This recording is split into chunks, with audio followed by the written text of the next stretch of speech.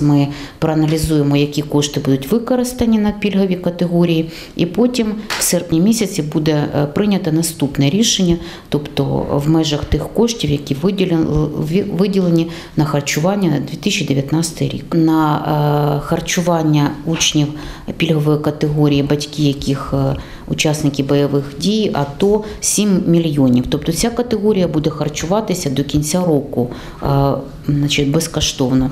Але є і інші пільгові категорії. Потім з 1 вересня буде вирішуватися питання, які пільгові категорії, категорії будуть харчуватися.